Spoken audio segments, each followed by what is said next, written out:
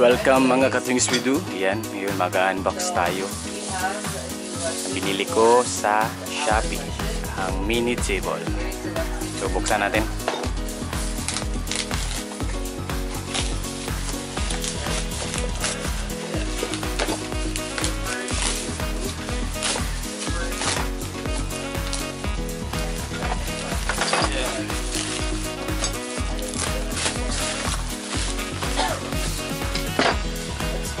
Tayo ng pang-cut ng tape. So, buksan na natin. Alright, so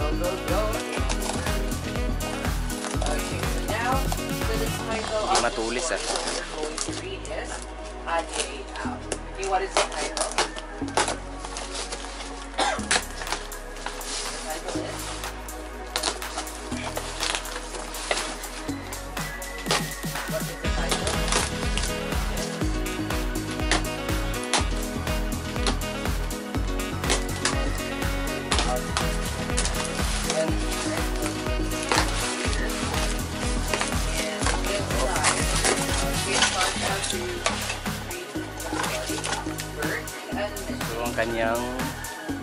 guide. Paano i-assemble ito.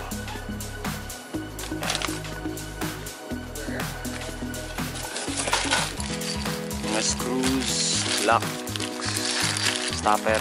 Yan.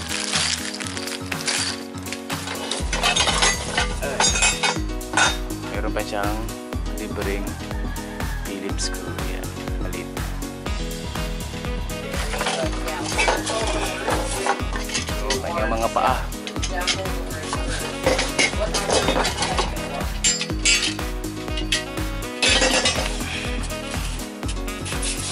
mismong board sa table. Yan. Maliit lang ito guys. Parang fiber siya guys. O fiber kaya ito. Yan. So isa-simbolan natin. So, yes, simbolo natin. Unahin ko muna ang kanyang paa. So, gagamit ako ng cordless, cordless drill. Tapos, meron akong reviews dito. Big power. So, search lang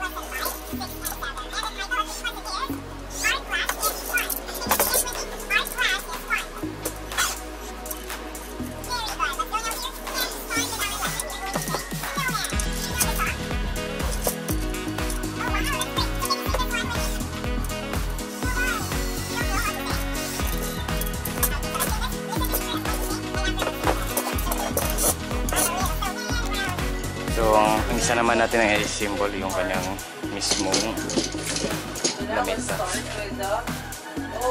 So, lalagyan natin ng padi nito para i-connect sa bilang. Yan. Gabby, Gabby, Gabby.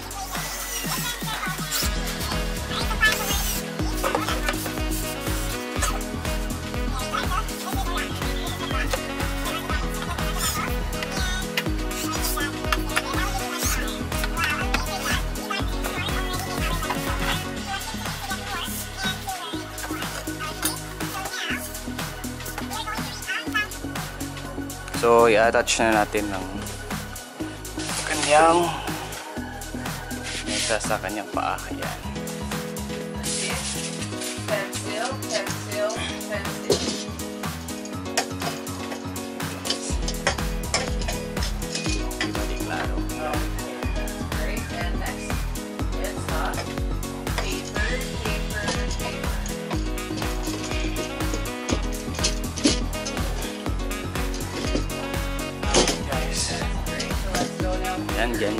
Guys. Nasa 2 feet siya. Yan.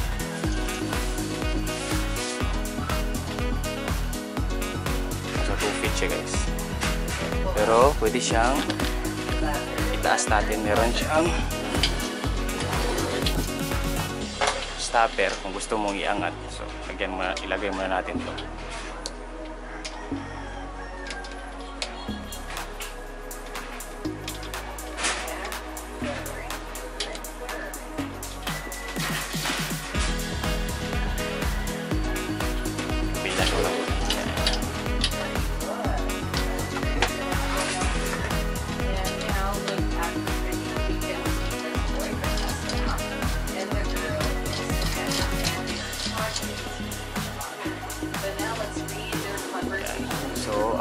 Maximum height nasa Let's start now. What is that? 4 feet. Ayan. Luwagan lang natin to. So, i-maximum.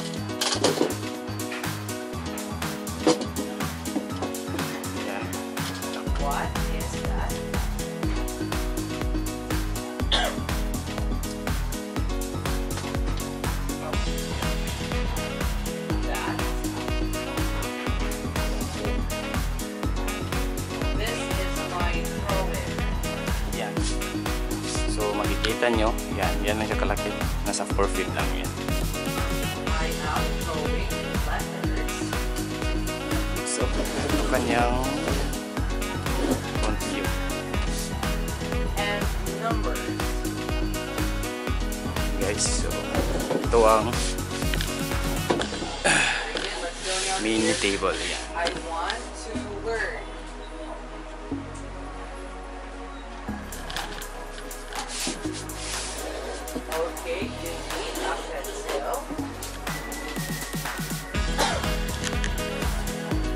Ayan guys, ito sa metal lang.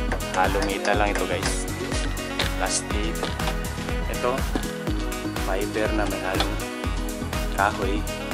Ito rin, fiber.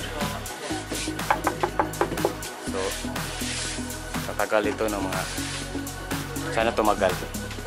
Ayan guys. Ah, nabili ko to sa halagang 320. Pero may shipping fee, kaya naging 400. Yan. Yan ang mini table guys for laptop. Yan. Gusto mo umupo. Gusto mo umupo sa sahig. So, ilitan mo lang. Yan. Adjust mo lang ito. Art class is